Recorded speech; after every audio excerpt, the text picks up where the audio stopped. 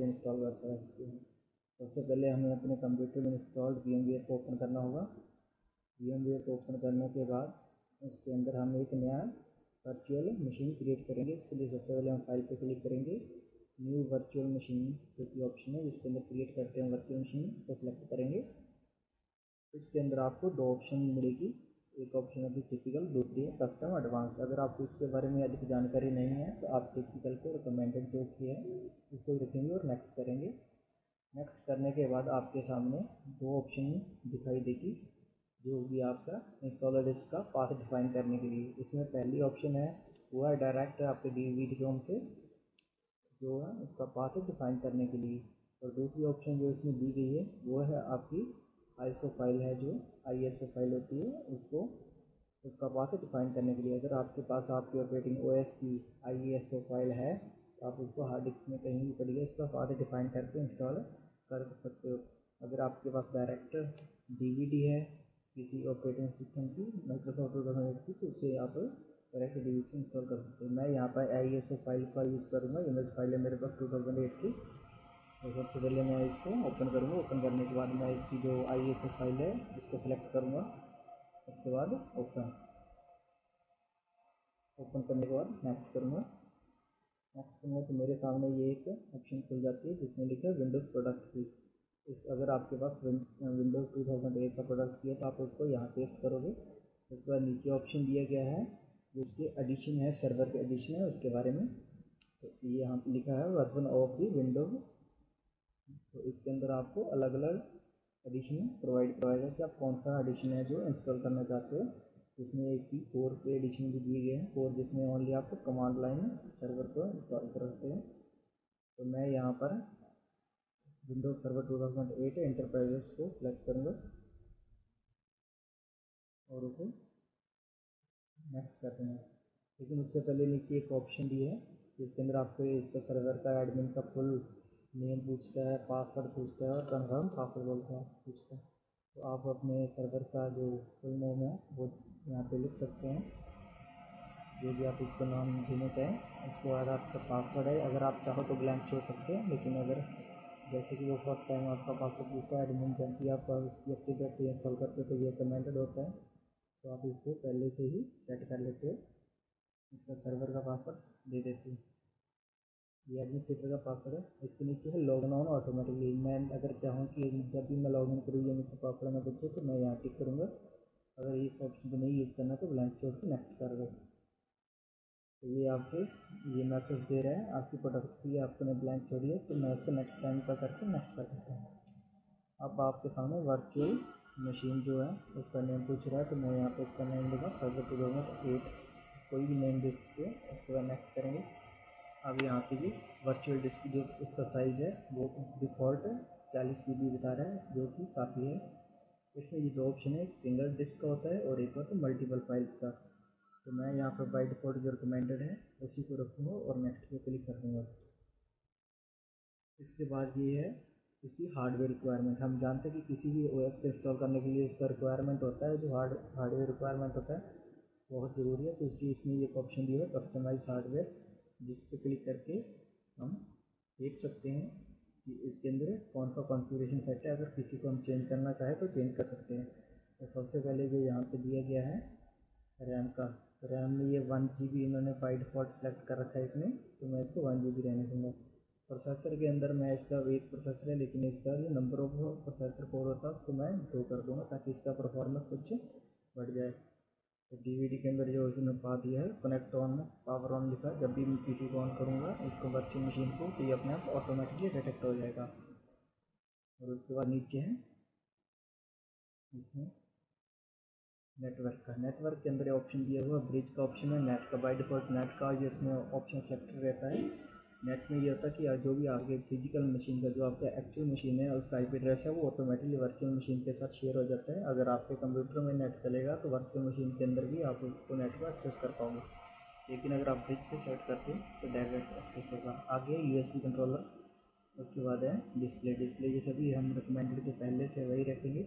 आप चाहो तो थ्री डी ग्राफिक कर सकते हो, लेकिन उसको ब्लैंक छोड़ के मैं इसको नेक्स्ट कर दूँगा और फिर फिनिश करूँगा। जैसे फिनिश करूँगा। तो ये मेरा मशीन है, वो कॉन्फ़िगर हो गया और ऑटोमेटिकली अब ऑन होना शुरू हो जाएगा।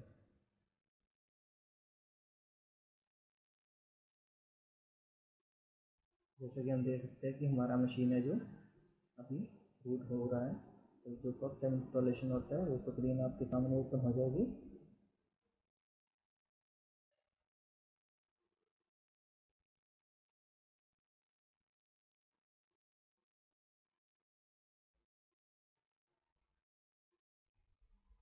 देखिए, मैंने वहाँ पे प्रोडक्ट की का ऑप्शन था, वो ब्लैंक छोड़ा था तो ये अभी हम मेरे से ये ब्लैंक जो ऑप्शन है पूछ रहा है। टाइप योर प्रोडक्ट की और एक्टिवेशन तो अब ये मेरे पास कोई प्रोडक्ट प्रोडक्ट की है नहीं तो मैं इसको ट्रायल वर्जन के लिए इंस्टॉल करूँगा। तो मैं यहाँ पे ऑटोमेटिकली का जो चेक लगा, उसको साइन आउट कर दूँगा, ताकि मेरे पास ऑनलाइन के वक्त, होते वक्त ये मेरे से प्रोडक्ट के लिए फिर से एरर जहाँ शो ना करे। जैसे इसको क्लोज करके नेक्स्ट करूँगा। वेट करेंगे। इंस्टॉलेशन स्टार्ट होने के लिए वेट करेंगे।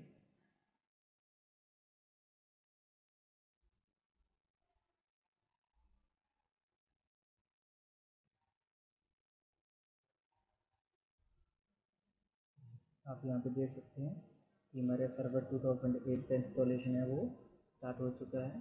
तो सबसे पहले जो जो इसका रिकमेंडेड जो पाथ होता है, उसे इसने जो फाइल्स वगैरह है जो पिक किए हम जानते हैं कि किसी भी विंडो को इंस्टॉल करते हैं, जैसे सेवन का सेटअप होता है, वैसे टू थाउज़ेंड एट का सेटअप होता है। पहले फाइल्स कॉपी होती है, उसके बाद ये एक्सपेंड करता है, फिर इसको फीचर्स को इंस्टॉल करता है, और इंस्टॉल करने के बाद इसको कन्फिगर करके लास्ट में फाइनलाइज करते हैं।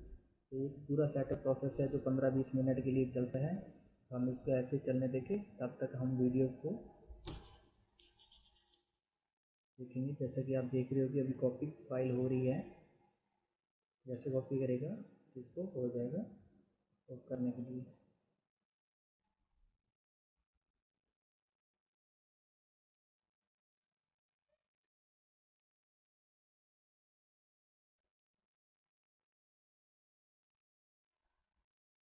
वर्चुअल मशीन के अंदर भी जो विंडोज़ का सेटअप है विंडोज़ सर्वर दो हज़ार एट का सेटअप है, बिल्कुल हूबू वैसा ही लगेगा जैसा फ़िज़िकल मशीन के अंदर इंस्टॉल्ड होता है। उसमें कुछ भी चेंजेस नहीं होते हैं।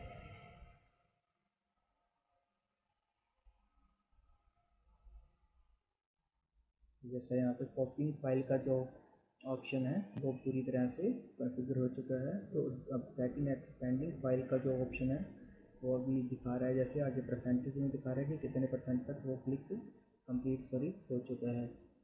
इसी तरह से जो इंस्टॉलेशन है वो कंटिन्यू चलता रहेगा जब तक कि ये पूरे के पूरे जो फीचर्स हैं वो इंस्टॉल नहीं हो जाते। तो जब तक ये फीचर्स इंस्टॉल होगी,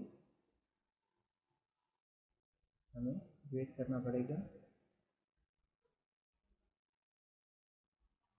जैसे ही ये हमारे फीचर इंस्टॉल हो जाएँगे तो सिस्टम रिबूट हो जाएगा और उसके बाद हमारा सर्वर टू एट है, वो हमारी वर्चुअल मशीन में प्रॉपरली इंस्टॉल हो जाएगा। तो जैसा कि हमने यहाँ पे देखा कि हमारा सर्वर है, वो इंस्टॉल हो रहा है तो हम तब तक वीडियो को पॉज कर देते हैं और जैसे ही इंस्टॉल हो जाएगा तो हम वापस वीडियो को ऑन करेंगे। ओके जैसा कि अब हमारा विंडो सर्वर 2008 का इंस्टॉलेशन है कंप्लीट हो चुका है तो अब हम इसको वी एम के अंदर रन करके देखेंगे। तो इसके लिए हम Windows server two thousand eight पे जो पावर ऑन जिस वर्चुअल मशीन का ऑप्शन है उसको सिलेक्ट करेंगे पावर के अंदर और पावर ऑन पावर ऑन जैसे करेंगे तो ये हमारा वी एम वेयर के अंदर जो हमारा सर्वर टू थाउज़ेंड एट है, वो बूट होना शुरू हो जाएगा।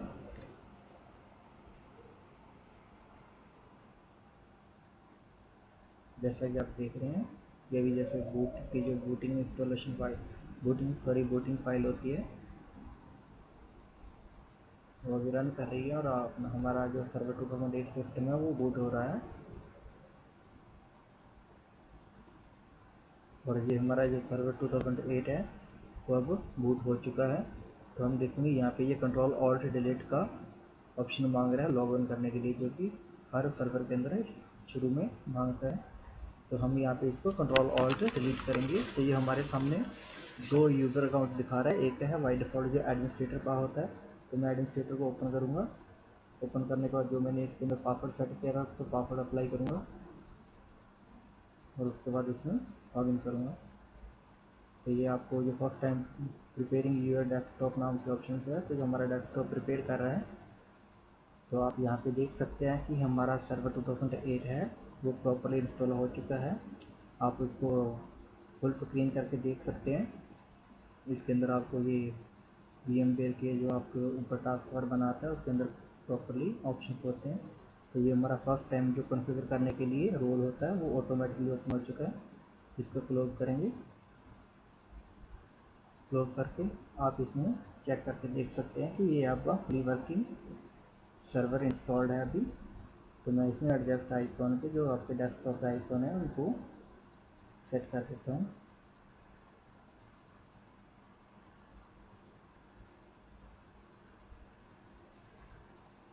तो इस तरह से आपने देखा कि हमने किस तरह से सर्वर टू थाउज़ेंड एट को वर्चुअल मशीन के अंदर इंस्टॉल किया और अब ये प्रॉपरली वर्क कर रहा है। आगे की जानकारी आपको नेक्स्ट वीडियो में दी जाएगी। तब तक के लिए